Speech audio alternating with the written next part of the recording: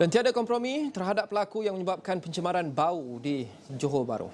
Menteri Sumber Asli dan Kelestarian Alam Nik Nazmi Nik Ahmad dalam sidang media selepas menyampaikan ucap pertama pada seminar serantau mengenai keadilan iklim berkata, tindakan tegas menanti sekiranya benar wujud jenayah alam sekitar melibatkan kes berkenaan.